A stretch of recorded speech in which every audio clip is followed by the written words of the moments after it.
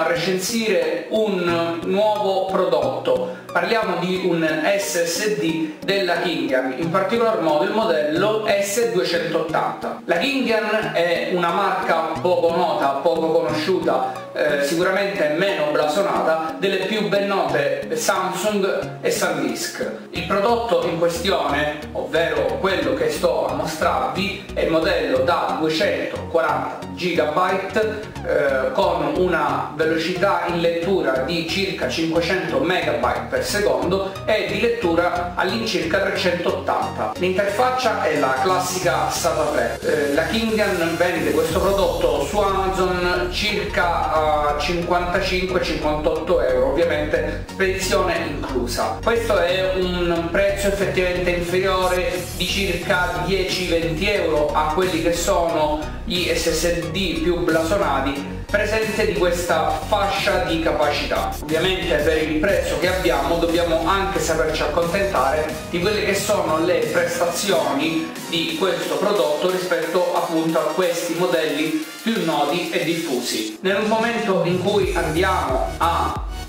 aprire la confezione di questo prodotto notiamo subito che eh, c'è poca roba oltre all'SSD troviamo 4 viti in dotazione per il fissaggio mentre non troviamo eh, nient'altro eh, come software per esempio gestionali o manualistica o altro materiale cartaceo che invece è spesso presente nei modelli della stessa capacità ma di quelle ditte appunto più grandi e ben più blasonate. Andiamo a parlare di quelle che sono le eh, fasce di capacità di questo SSD. La fascia più piccola è da 120 GB, parliamo ovviamente sempre del modello S280, abbiamo poi il modello da 240 GB che è quello che appunto stiamo andando a esaminare e infine abbiamo il modello da 480 GB che rappresenta il modello con maggiore capacità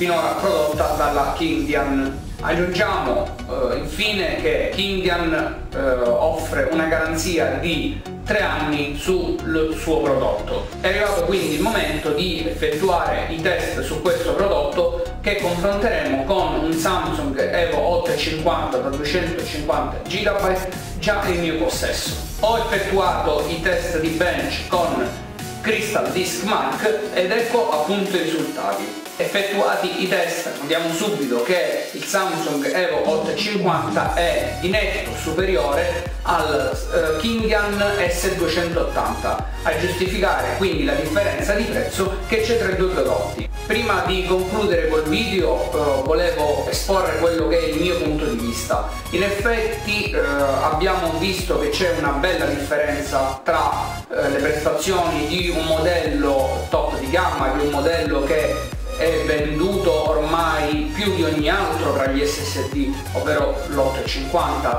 Eh, il Kingan tuttavia, nonostante il prezzo ridotto e nonostante appunto non sia una marca nota, si difende bene, quindi lo posso consigliare a qualcuno che voglia approcciarsi al mondo degli SSD senza dover spendere una cifra eh, così alta come quella invece eh, proposta per i Samsung. Questo è tutto, io vi ringrazio ancora una volta per avermi seguito, mi raccomando di lasciare il mi piace se il video vi è piaciuto e iscrivetevi al mio canale. Grazie ancora di tutto e alla prossima!